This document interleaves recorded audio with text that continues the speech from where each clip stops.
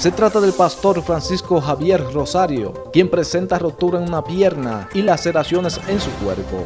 El lesionado se encuentra recibiendo atenciones médicas en el Hospital Público San Vicente de Paul de esta ciudad de San Francisco de Macorís. Acabó de ocurrir eso de las 12 del mediodía, un accidente en el distrito municipal Don Antonio Guzmán Fernández, Los Aguayos. Se trata de mi hermano Francisco Javier Rosario, el cual ha resultado con una pierna eh, un poco lesionada y golpe la cabeza. Le tengo para decir a los familiares que hasta ahora, aunque el, pronóstico, el diagnóstico es un poco grave, pero hasta, eh, gracias a Dios no, no, hay peligro. Este hecho ocurrió a eso del mediodía del pasado miércoles, cuando Javier Rosario se encontraba frente a su residencia. Fue chocado por un carro Hyundai de color mamey, cuyo conductor emprendió la huida.